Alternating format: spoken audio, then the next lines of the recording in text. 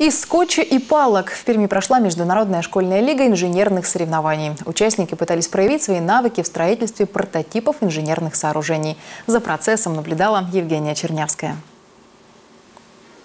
В Центре инновационного опыта 33-й гимназии собрались 13 команд со всего Прикамья. Они заняты тем, что строят, условно говоря, уменьшенные копии инженерных сооружений. Ребята строили конструкции из деревянных палочек, катка ниток и мотка скотча. По заданию условная пропасть составляла 70 сантиметров, а потому мост должен быть достаточно длинным и, конечно же, прочным. Это материалы, на самом деле, имитация тех материалов строительных, которые могут использоваться и в создании настоящих инженерных сооружений.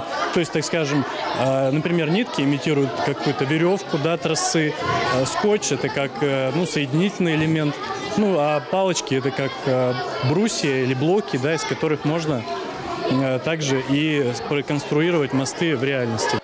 На все про все организаторы отвели полтора часа. За это время надо спроектировать и скрепить детали так, чтобы мост затем можно было нагрузить. Чье сооружение выдержит наибольший вес, тот и становится победителем. Организаторы конкурса уверяют, подобные соревнования помогут детям определиться со своим будущим. Мы все озабочены профориентацией школьников, и это как раз э, то мероприятие, которое позволяет ребятам определиться, может быть, тем, кому интересно инженерное творчество, которые себя в будущем видят инженерами. Для них это это очень интересно, и они могут попробовать себя уже в роли проектировщиков, инженеров такого сооружения, как мост на данный момент.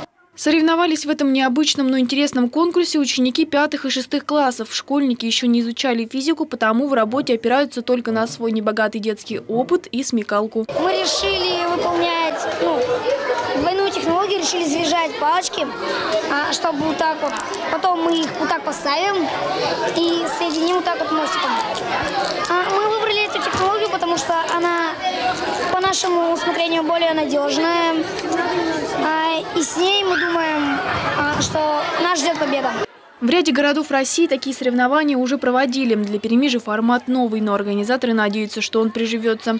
Что же касается итогов прошедшего школьного технического форума, то инженерной мыслью облеснула команда «Новаторы» из седьмой гимназии. Мост выдержал почти 9,5 килограммов. Евгения Чернявская, Валерий Шикунов, телевизионная служба новостей.